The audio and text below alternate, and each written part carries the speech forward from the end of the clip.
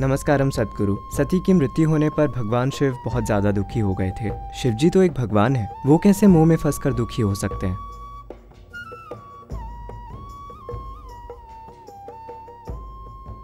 आपके अनुसार उन्हें क्या करना चाहिए था?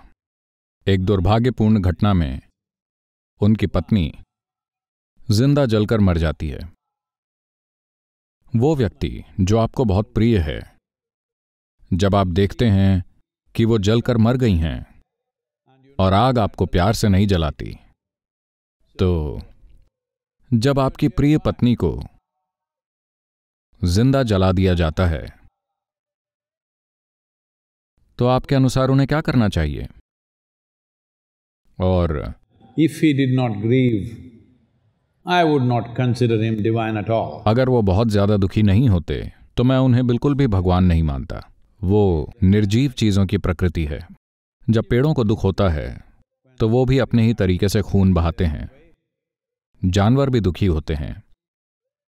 आपको लगता है कि शिव उनसे कम है? नहीं, उनका दुख बहुत तीव्र है।